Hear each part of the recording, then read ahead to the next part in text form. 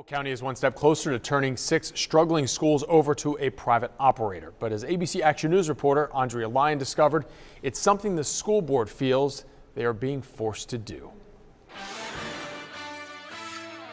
I think it needs to happen. While some parents are horrified to hear their children's school may be run by someone other than the school district next year, Jenny Slockley is hoping it helps. I think that the animals run the zoo and there's no control from the zookeepers and something needs to happen. Her daughter's school, Bartow Middle, is among the six schools failing according to Florida standards, all receiving D's and F's in the last three years. I believe that there are possibly some good teachers here. There's a lot of teachers that can't control the classroom. If they don't up their grades by this summer, an external operator will be taking over.